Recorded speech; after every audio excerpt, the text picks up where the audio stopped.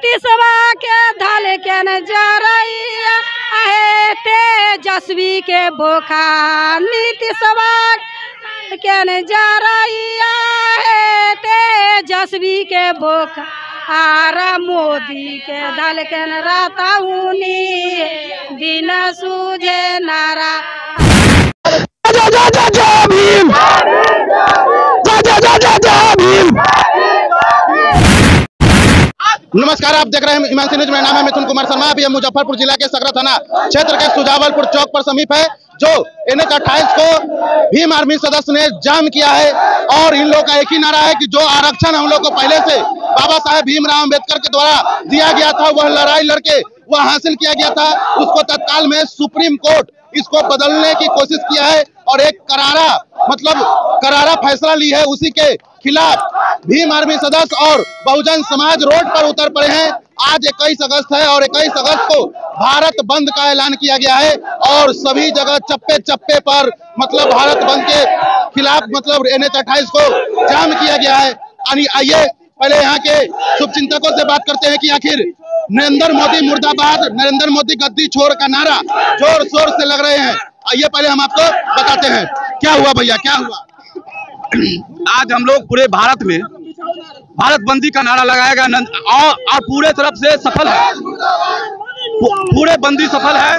सारे जितने हिंदुस्तान के दलित भाई हैं सभी लोग रोड पर उतर करके नीतीश कुमार के और नरेंद्र मोदी के खिलाफ में नहीं ये विरोध फैसला तो सुप्रीम कोर्ट सुनाया है। और नहीं नहीं नरेंद्र मोदी के उसमें सहयोगी है। नरेंद्र मोदी ही सरकार है नरेंद्र मोदी ही सुप्रीम कोर्ट है। इसलिए राष्ट्रपति कहाँ चल गया? राष्ट्रपति भी वही है सरकार वही है।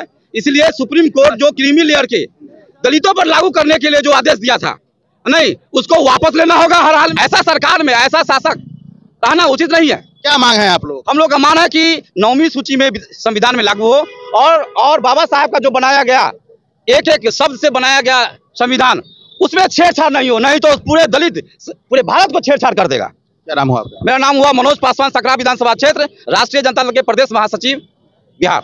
क्या मांग है बाबा? चचा हाँ? की मांग है? हम लोग के लोग का मांग यही है बाबा। हाँ, की मांग है? मांग है यही कि ये छह साल बंद बहुत क्या चीज़ में छेड़छाड़ हाँ, दलित को बहुत सताते हैं। और सताते हैं। कब कब ठगा जाता है कहिए ना। छह साल होता है बहुत जनी जात को सताता है। और कमैनी खतैनी में खताते हैं बस खताते खपताते। देखल हालत खराब है। लिट्टी दे दो, लो खाली हो। लो लिट्टी तो मिला चाहिए अपने से खा के बोगाई भेल है। हाँ। क्या नाम हुआ आपका? शिवजी राम विकलांग। विकलांग है? हाँ शिवजी राम विकलांग है।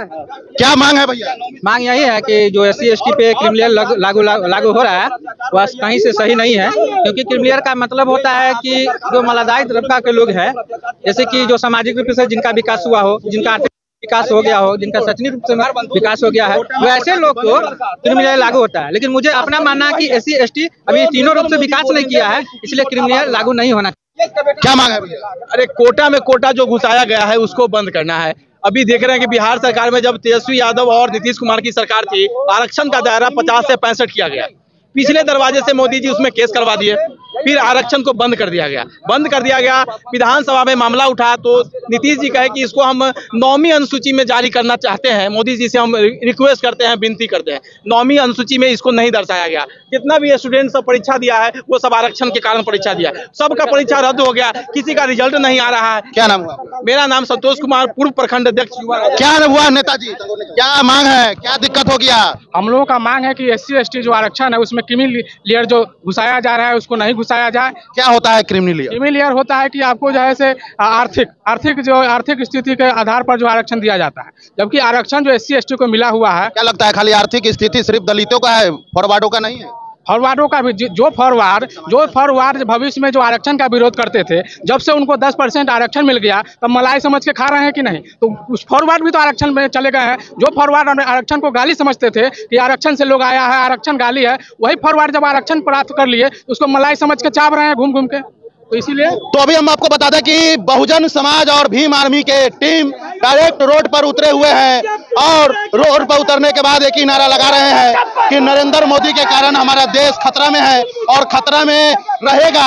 मोदी जी को गद्दी छोड़ना होगा। यही आवाजों के साथ लोग अपना आवाज़ बुलंद करते आ रहे हैं और पूरे देश में समझिए तो चप्पा चप्पा जाम किया गया है और उसके बाद क्या हुआ भैया?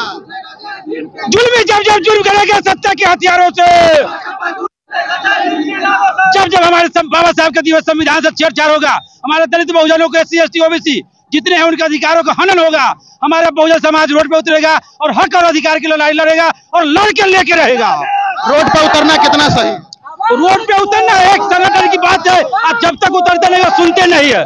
उनको कानों तक सुनवाई हो इसलिए रोड पे उतरना ज़रूरी है। रोड पे उतरने वाला के लाठीचार्ज भी करता है ये नरेंद्र मोदी या नीतीश कुमार? अगर लाठीचार्ज करेंगे हम संविधान के खिलाफ होंगे तो। संविधान के दायरे में अगर लाठीचार्ज करते हैं तो यहाँ कोई बहुजन कमज़ोर नहीं है। लगभग दस सालों से तो देखा गया है कि लगातार लाठीचार्ज हो रहे हैं प्रदर्शन करने वाले। पर तो लगातार हम लड़ने के लिए तैयार भी तो हैं हम पीछे भी तो नहीं हट रहे हैं।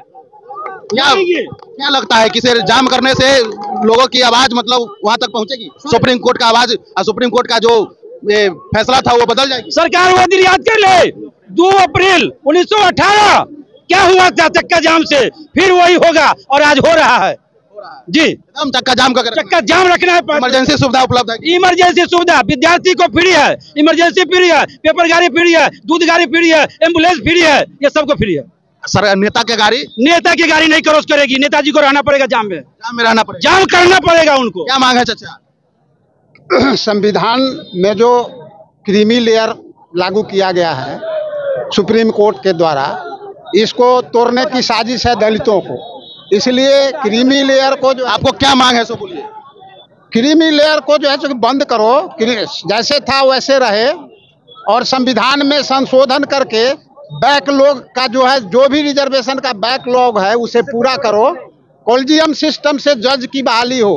ये नहीं कि बाप के बाद बेटा बेटा के बाद पोता सब तो पढ़ने से ना चाचा तो पढ़ने से खाली वही पढ़ता है। हम नहीं पढ़ते हैं। वो तो बेईमानी से होता है। बेईमानी से होता है। क्या मांग है भैया? बस यथावत जैसे पूर्व से है संविधान का दायरा उसी रहे उसमें कोई बदलाव नहीं होना चाहिए। कोई छेड़छाड़ कोई छेड़छाड़ नहीं होना चाहिए। इसमें मोदी जी का क्या है इसमें मोदी जी का दोष नहीं इसमें कोर्ट का दोष है सुप्रीम कोर्ट का दोष सुप्रीम कोर्ट का आदेश है। जी। जी हम आपको बता दें कि डायरेक्ट हम आपको सुजालपुर चौक से यह वीडियो प्रसारित कर रहे थे।